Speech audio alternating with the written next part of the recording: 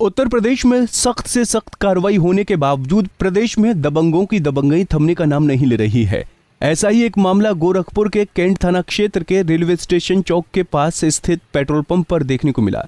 दरअसल यहाँ आए कुछ दबंग युवकों से पेट्रोल पंप पर कर्मचारी से किसी बात को लेकर मामूली कहासुनी हो गई।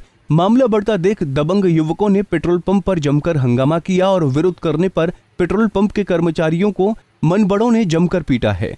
ये पूरी घटना पेट्रोल पंप में लगे सीसीटीवी में कैद हो गई है, जिसका वीडियो सोशल मीडिया पर तेज़ी से वायरल हो रहा है।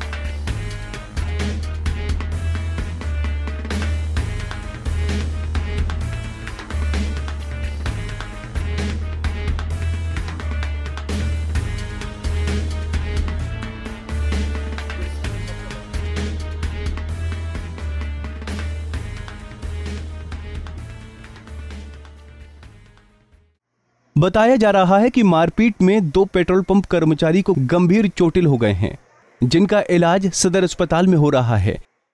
क्या मामला हुआ और क्या घटना घटित हुई आपके पेट्रोल पंप पे? घटना कुछ आपस में बातचीत हुई पैसे के जैसे चार गाड़ियों में एक साथ तेल भराना था। कोई उसमें कह रहा था कि 200 का डालो कोई कह रहा था 300 का डालो।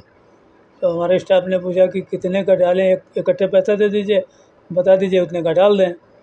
तो पीछे जो लड़का बैठा था वो गाली गुप्ता देने लगा कि जितना हम कह रहे हैं उतना डालो। उसके बाद भी तेल डालने के बाद भी वो आगे निकलने लगा। हुआ चलो जाने तो हो गया लेकिन फिर गाली देते हुए हुआ कि हमारा स्टाफ भी बोल दिया उसको कुछ। इसके उसी को लेकर के तो बड़ा विवाद हुआ। किसी को चोटें भी आई हैं?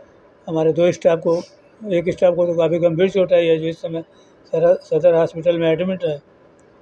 एक C C T scan doctor ने लिखा है वो होगा उसके बाद उसके चोट का पता चलेगा। एक स्टाफ को हाथ में चोट आई है शायद फ्रैक्चर भी हो उसका एक्सरे हो रहा है। कब की घटना है ये? या सवेरे छः छः बीस के आसपास की सवेरे छः छः बीस की। छः बीस छः बीस आप लोगों ने इसकी सूचना किसी को अभी तक दी है? इसकी सूचना तुरंत सौ नंबर पे दी गई है थाने पे कैंट थाने पे इसकी रिपोर्ट भी दर्ज कराई गई है। वहीं घायल कर्मचारी ने बताया कि सुबह ही पेट्रोल पंप पर कुछ लोग पहुँचे और मामूली कहासुनी होने के बाद दबंगों ने जमकर मारपीट की। साथ ही घायल पंप कर्मचारी का कहना है कि इन दबंगों के खिलाफ सख्त से सख्त कार्रवाई की जाए। क्या नाम है आपका? हनुमान पांडे। क्या घटना हुई?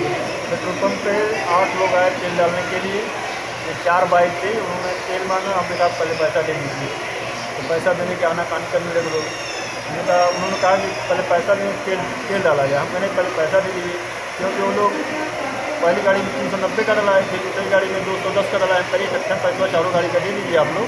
तेल डाल दिया जाएगा तो बाहर गए लोग लगे कमेंट करने के लिए। तो एक हमारे साथ हमारे स्टाफ विकास यादव नाम का लड़का था उसने कहा एक कहा भैया जाइए आप। उसके बाद लोग उतर गए हाथापाई करने लगे लोग। किस तरह से मारपीट हुई है? अब मार उन लोगों के पास खाना बनाने वाला जो है पलटा था। उसी को लोग मारने लगे हम लोग दो ही लोग थे वो लोग आठ लोग थे। लगभग कितने देर तक ये घटना हुई? सुबह छः बजे हुई है घटना लगभग पंद्रह मिनट तक सवाल चला। तो मेन सड़क में पुलिस नहीं यहाँ प्रेजेंट टाइम पुलिस नहीं है उसके बाद फ़ोन किया गया तब सौ नंबर की गाड़ी किस पेट्रोल पंप के कर्मचारी हैं Bharat Petroleum service centre Dharamshala बाज़ार। फ़िलहाल पुलिस को घटना की जानकारी मिलते ही मौके पर जाना चाहिए और उन दबंग आरोपियों की तलाश कर बड़ी से बड़ी कार्रवाई करनी चाहिए। पंजाब केसरी टीवी के लिए गोरखपुर से रुद्र प्रताप सिंह की रिपोर्ट। हमसे जुड़े रहने के लिए हमारे YouTube चैनल को सब्सक्राइब करें और नई वीडियो की नोटिफिकेशन के लिए बेल आइकॉन को दबाएँ। अगर आप ये वीडियो Facebook पर देख रहे हैं तो लाइक ज़रूर करें और ज़्यादा से ज़्यादा शेयर करें। धन्यवाद।